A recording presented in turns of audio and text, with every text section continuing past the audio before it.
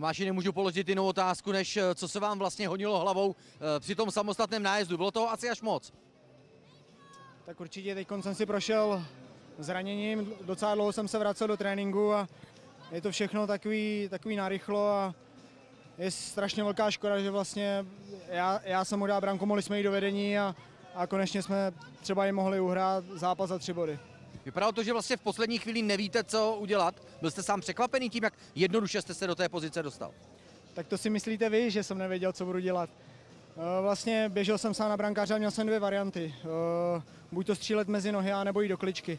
A tím asi, jak jsem, jak jsem potom zranění, tak jsem nechtěl jít prostě do nějakého běžeckého souboje a, a řešil jsem tuhle tu variantu a myslím si, že tomu nechybělo moc, ale prostě Iskrát mi to proti Spartě vyšlo a bohužel teď to nevyšlo, takže jede se dál.